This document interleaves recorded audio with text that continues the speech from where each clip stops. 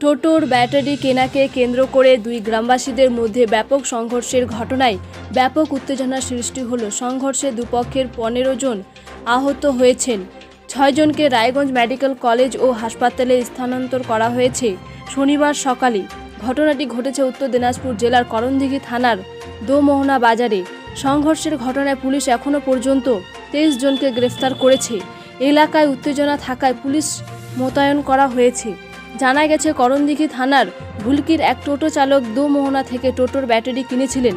অভিযোগ, ব্যাটারি নিম্নমানের হওয়ায় টোটো চালক সেই ব্যবসায়ীর কাছে অভিযোগ করেন।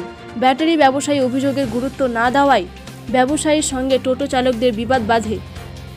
আজ সকালে ভুলকি গ্রামের বাসিন্দারা দোমোহনা গ্রামে এসে স্থানীয় লোকজনকে মারধর করে বলে অভিযোগ।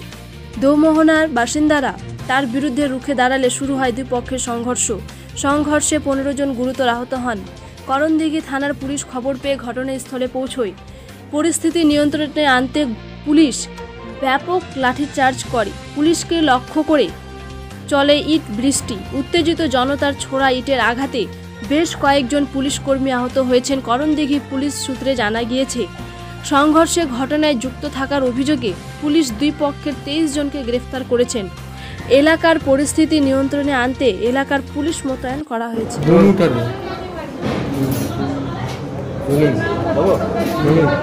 আপনার নাম? কি হয়েছে? কারা মেরেছে আপনার? ভুল কি লোকেরা ওকে মেরেছে কতজন চার পাঁচজন ছিল ওই একাই ছিল। ওরে মেরেছে রাস্তায়।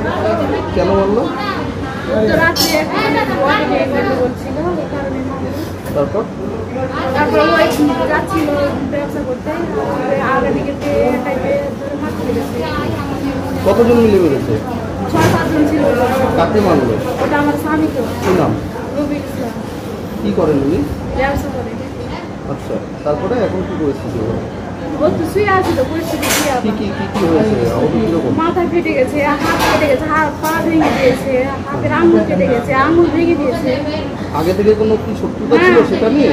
না, কি নিয়ে? কি নিয়ে গন্ডগোলটা ওই তো অটোওয়ালা কিনে বললাম তো এতে অটোওয়ালার থেকে ঝামেলা। অটোওয়ালাটা কোথাকার? সেটা তো আমি বলব এখন কি চাচ্ছেন কি আপনারা?